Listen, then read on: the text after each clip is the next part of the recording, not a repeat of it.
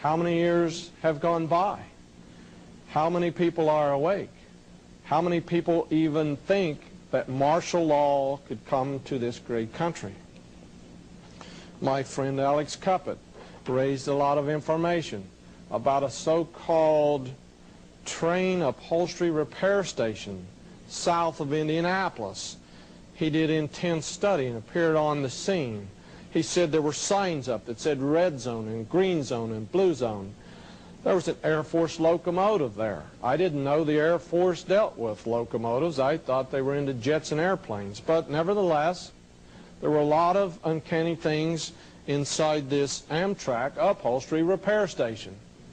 There was a lot of welding. There were a lot of uh, gates that you could only enter one way. You could not exit that way. There were bars put up over gates. When information was released, it appeared in some patriotic magazines around the country. Immediately, the signs that said red zone, green zone, and blue zone disappeared. But I have them on videotape. It was too late to sanitize a lot of people had documentation. When martial law does arrive, when it does come to the USA, there are some incredible, incredible surprises ahead. There are being, right now there are techniques in science that are being carefully hidden. There are advancements so far ahead of your thinking that I wouldn't even attempt to bring them out. This chopper appeared on the tarmac of an airport, a public airport out west. I will avoid saying what city. I don't plan to give the intelligence services or the armed forces or whoever was responsible any friction over what transpired here. Please note that the door is shut in this helicopter. A Patriot that is equivalent to a bulldog showed up with a camera. As soon as he pointed the camera, the door was slammed. There are only a couple inches left open. If you look carefully, you will see a canister that looks like a large milk crate from old times. This particular patriot does not understand the word no. There were two men guarding this helicopter with submachine guns. In the original photo on your extreme left, there is a man holding a machine gun. There's a guy inside with a machine gun. He crawled across the airport, his friends guarding him. He went inside to inspect the canister, and there were miniature genetic beings, hearts beating, legs kicking. I will not let out any more information. They did a trace. They know where it came from. They know where it went. But apparently, someone is tinkering with science. Genetic engineering is reality. There's a whole lot going on that the public is not aware of. Now, helicopters, detention centers, You've heard my friend Al Cuppett. He put out the warning. That was his expertise. I won't expound on it. But let's tie it back into this subject. People say, never in America, no, not here. In this Time Life graph from a book on prisoners of war, available at your local library, I found an interesting little notation. This map symbolizes detention centers in this country in World War II for German soldiers. Please note at the bottom of this little picture that there were 666 detention centers for German soldiers at the end of World War II. I think if I was working with those detention centers, I would have built 10 more just to say there were 676. I do not understand why anyone in our government would want this number to appear on anything. This is an ad. I'll leave out the product at the bottom. I am not critiquing the company that ran this ad. It appeared in 1972, Better Homes and Gardens. It was for the American housewife. They were introducing the barcode. This group is very well advanced. You understand that this barcode has three codes, the one on the left, the one on the right, the one in the center that never change. Of course, the first half of the barcode is different from the second half of the barcode. It uses a different numbering system. The light, the dark are read by the laser. They can tell where the product was manufactured, what time, the cost, whatever information they intend to encode. Notice on the right-hand side that two thin lines denote the number 6. There are two thin lines above a 6. All these bars change except the long one extended at the front, the one in the middle, and the one at the end. This is very well known. There have been articles written, books written on this subject. Now, go beyond that. This was 1972. Can you read the subliminal line at the top of the ad? It reads, this is the beginning of the end. My Bible in Revelation chapter 13, verse 17 and 18 states there'll come a time when people cannot buy or sell except they have the mark, they know the name, or they have the number. Every can of food in your cabinet in the kitchen contains this bar graph. You can't buy or sell food without having this number. So what might that lead to? Here we have the number. This number has appeared for decades. I have ads that are 80 years old with the number 666 in them. I will not name the company. There were ads in World War II about shoes for sale. They appeared in major magazines.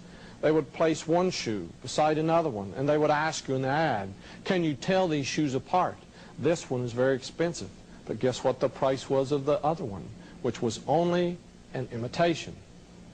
I'm looking for an imitator. The Bible warns us that at the end of time, an imitator will appear, saying is Christ associated with that number. But what about this part about being beheaded? This machine was invented in the 1600s. The Greeks had a very crude form of this machine, but it was used for decapitation in the 1600s. And I would like to show you a famous Mason I found on the website. You may recognize his name. And of course, here's a drawing he presented to the French government about this wonderful machine that would give death without suffering. Now, when will these things come to pass? If you understood subliminal language, if you understood that everything that's going on is right in front of you. You would not have to guess. You do not have to research. You do not have to ask. They are constantly putting it in front of you in books, in movies, constantly telling you what will happen next. For proof, I want to show you a major novel. This novel came out in 1957. That was 40 years ago. This book is available at your local library. It is required reading in some colleges and in some universities. When I go to expos and I speak about the real meaning behind this book, some people get extremely mad. I've noticed some people leave imprints in hardened concrete when they leave the room if you critique this book or this author. There are several websites. She has a cult following. That's what the Saturday Evening Post said when they ran an article about this woman. It was it utilized the term cult, C-U-L-T. Now, this book in 1957 was written not as fiction, it was truth disguised as fiction. Rand was one of the mistresses of Philip Rothschild. Philippe Rothschild. It's a very well-known wine. Now deceased, but in those days he ran the world. The top three Rothschilds are called their tribunal, and they make all the decisions. Philip asked her to write this book intentionally. The rich and the powerful call this the code book.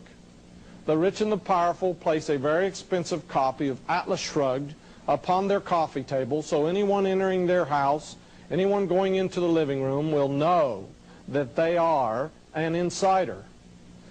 Now, all the plans of the Illuminati were hidden within this book. It runs about 1,100 pages. Where are the plans? The same place all the information is placed. It is between the lines, out of context. I want you to take special note of some quotations I've extracted from Atlas Shrugged. In light of all the things I've tried to tell you, let's start with this particular quote.